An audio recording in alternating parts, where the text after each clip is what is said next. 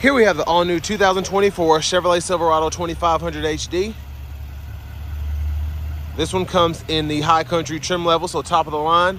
And then we also have the midnight edition package on this one. Comes in black on jet black perforated leather interior.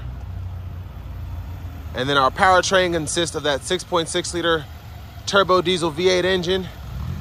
And that's mated to a 10 speed Allison automatic transmission.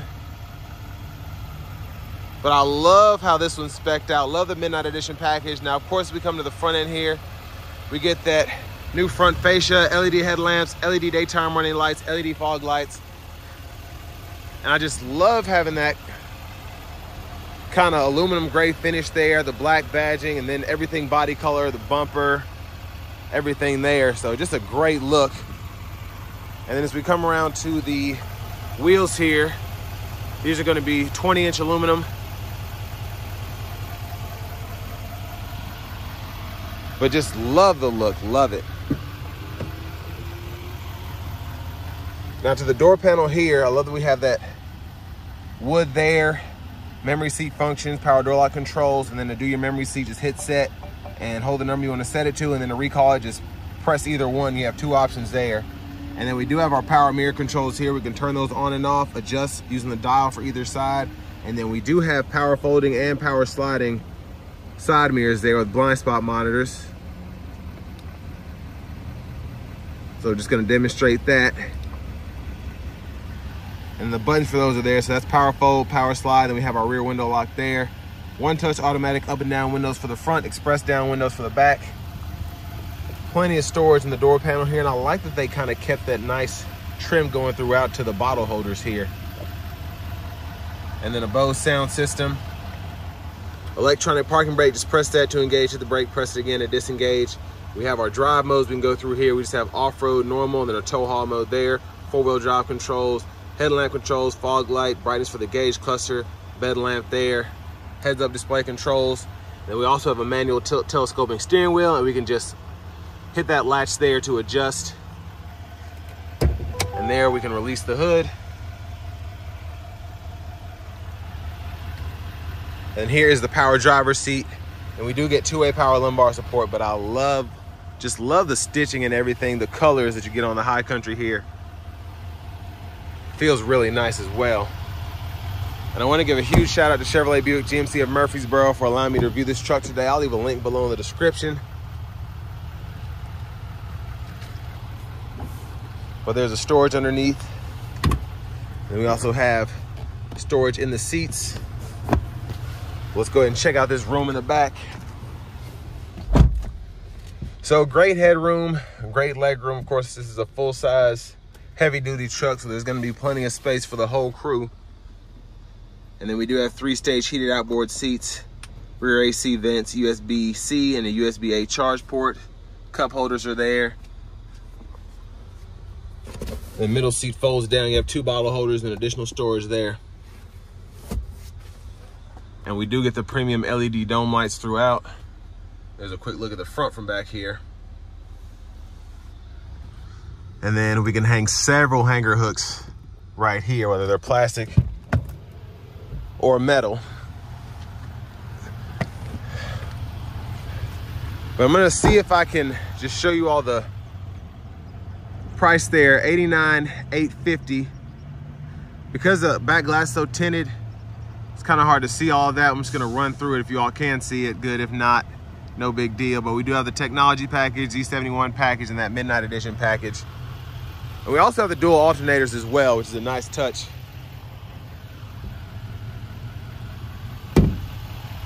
And then this one has the optional trifold bed cover. And we also have the multi-flex tailgate as well.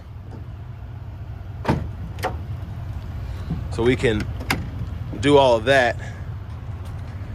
Then the bar is there. And then of course we have the bed lights here. And then we have a 120 volt three prong plug in back here as well. But I'll put all this back together.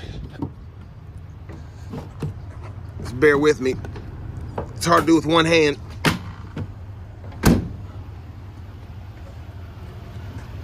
But there is the, back in there we do get the LED tail lamps And then our spare is just right there.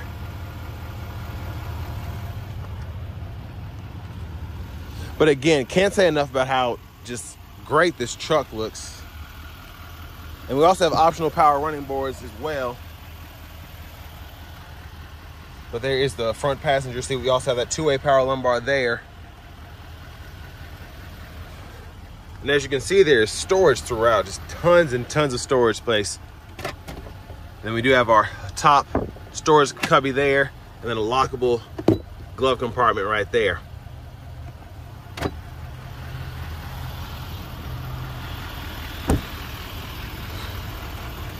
Now as we come back around to the front end here, pop the hood. There's that 6.6 liter Duramax V8.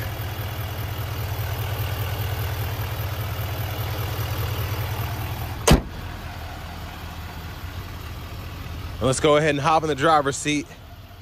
But I'm just gonna give you a quick look at the the trailering information here so y'all can see for yourself. We got conventional trailering, we can get up to 18.5 and then gooseneck 19.1.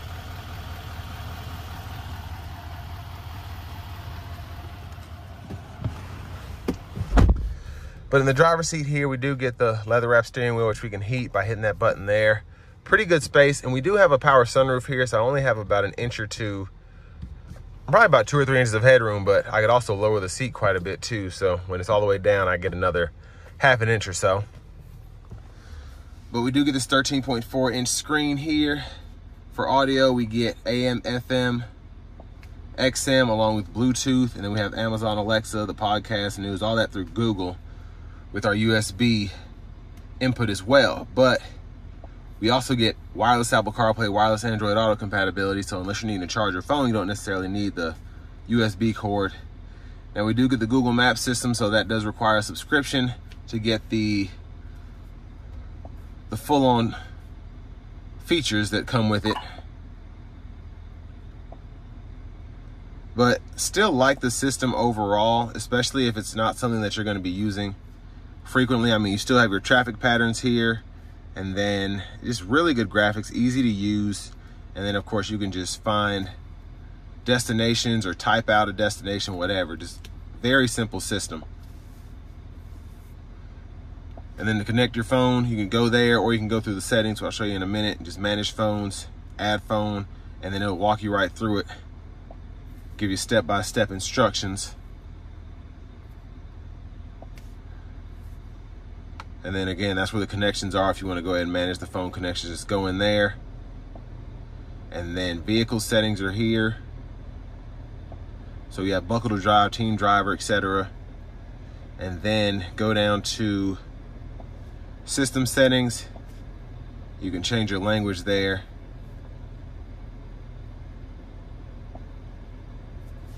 And then we do get dual zone automatic climate control, so you can either use the screen here, which I actually like. I usually don't like screens, and I've said this before, but I love the new systems in these updated Google screens here.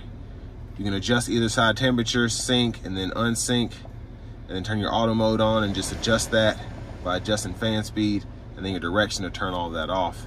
And then you can power the whole system down as well. And then for the trailering, with this truck in particular, you can add a trailer, use a guest trailer, use the accessories and all that stuff. And pretty cool system. Just test your lights. You have the option to have those cameras there. You get that kind of 360 view with the trailer. Now, for the backup camera, you do get the 360 view. Guidelines follow you as well as you turn the wheel. And then we also have the, the front camera there too. We have that top down view, curbside view, trailer hitch view, and then my favorite view is the, the bed camera there. Just love being able to see what's going on in the back. But down here we have the exhaust brake, lane keep assist with lane departure, parking sensors. This is how we can lower the tailgate hitting that button. Hazards are there, traction control, downhill brake control. And we have a volume knob here. You can click there to mute. And then quick shortcut for the home button or for the home page, which is nice. And then over here, you have a few options on what you can see on the side, which is pretty neat. I like having this, so if you are, when you are driving or whatever, you can see the, the status of the trailer. Speaking of which, the trailer brake controller is here. And then we do have three-stage heated cooled front seats. And then a USB-A, USB-C port right there. Bottle holders are here. And I love, love the center console cubby space, just how nice and premium the cover feels. And then you open this up, wireless charging pad, another USB-C, USB-A duo there, and then a three-prong plug-in right there. Cover that up. And then you do have this remo removable tray. Now I'm gonna pull the power sunroof shade back there, and then we have our garage door transmitter, power sunroof, these controls are here, and then the power sliding rear window controls right there. So we'll one touch that. I love one touch, sends it all the way back. Then we can shut that one touch as well. And then while we're looking at the back seat here, there's that power sliding rear window. And then we do have the rear camera mirror. You can toggle that on and off. The switch down below. And then for the shifter, pull, reverse, neutral drive, and then we do have the low gear and we can manually shift using the buttons on the side of the shifter there. And then to the left stalk here, windshield wiper controls one time, and then all of our intermittent modes are here. And we have low, high, and then we can use the wiper fluid, hitting that button there. Auto high beams, we can toggle those here, and then we can toggle the high beams when the low beams are on just by tapping that, and then we can flash here. And then we do have adaptive cruise control here, which is a great touch, I think, on a heavy duty truck. We can toggle that there, adjust speed, cancel, forward collision alert, gap adjust there. And then we do have a Bluetooth control, which is also a mute button and then voice recognition's here. And we can scroll through the gauge cluster menus here and then go through the sub menus themselves just by scrolling through left or right. And then you can go to the units and the options, and then you can go from US to metric there. And then you can also change what's shown on the, the info pages. But I love having that digital gauge cluster there. And all of our buttons are down here below. So the ABS, airbag light, brake light there, and I'll show you that. That's the parking brake. And then we have a few buttons over here. I think the tire pressure monitor and whatnot is down there below there. And then for the heads up display, I'm gonna zoom in there. There's the different info options. And then behind the steering wheel on the left side, we have our track list or radio station presets we can toggle up and down. And then behind on the right side, we have our volume up and down there. Push button start. Here's the key fob with remote start. And we can lower that tailgate as well, hitting that twice. But next it's time to go ahead and take this 2500 HD High Country out on the road for a test drive. So starting the test drive in this High Country 2500, it's crazy how I've driven a base model 2500 and just how different this feels. Just having the leather wrap steering wheel, having the, the screen here, everything just looks so premium. And then of course having the heated cooled seats is nice as well. And with these seats, I've said this I think I did a uh, Denali Ultimate. It's crazy how, even though this is a heavy duty truck, how much more comfortable the truck is itself just by having the, the upgraded leather seats here. Now, of course, the, the Duramax paired with this Allison transmission, it's, it just drives so great. It's just, it's incredible. It really is. And another good thing is that also doubles as making it a pretty good workhorse. But it also can be fun to drive.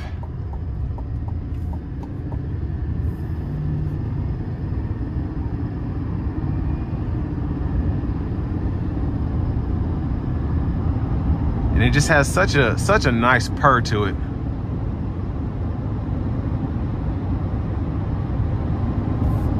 I'm gonna put on the adaptive cruise here and let's see if I can pull out the fuel economy for those that are curious.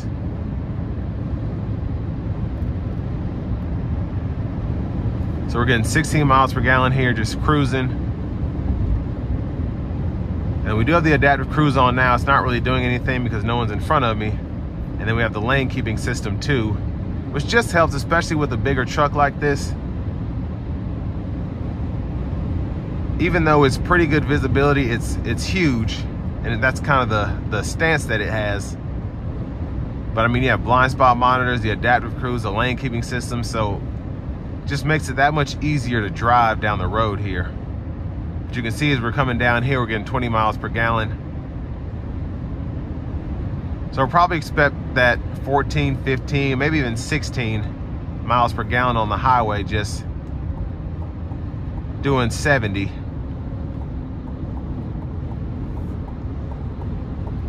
But honestly, the ride quality, again, having the more premium seats, I think makes the ride that much more enjoyable. Now, it's still a heavy duty truck, so it's not necessarily smooth, but again, makes it that much more comfortable as opposed to a base model truck that might have vinyl seats or cloth seats. Now, I will say, even with this being a heavy duty truck again, the visibility is so good. Just having these trailering mirrors and they really double when you're not pulling something as a good way to, to see better. Specifically in those blind spots to make sure you're not about to hit something if you're parking really close or something like that. But I'm gonna give it just a little, a little pull here once this truck gets out of the way.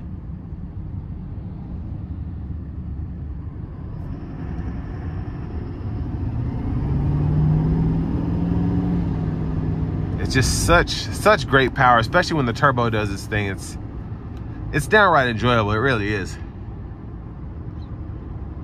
Now, in terms of the competition, I do think that GM kind of has the upper hand right now because they are the the more recent redesign as opposed to the big three. Well, when it comes to the big three, let me put it that way. So Ram hasn't redesigned their 2500 in a minute. And Ford, I think they gave it a slight refresh for 23. But it wasn't really anything noticeable. In terms of just exterior aesthetics, uh, the new interior, all of that. But this here is just, it helps that GM, I think, was kind of in last place when it came to the, the interior, especially compared to Ford and, and Ram. So bringing this new system with 13.4 inch screen, just the all new layout here is a, a really nice touch. But I mean, I like how this truck drives. It is $90,000, but it's a heavy duty truck. And honestly, compared to getting a Denali Ultimate 2500 that might push upwards of $100,000, I think this is a a nice a nice way to I guess look different. I mean, I think it looks sharper than the Denali Ultimates, this Midnight Edition especially.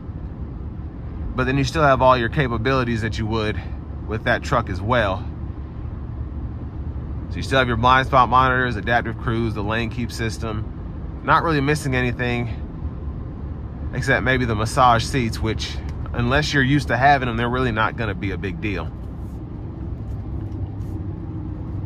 But I think a great truck for the money, especially if you're gonna be using it for work. And this will bring me to the end of my review of this 2024 2500 HD High Country.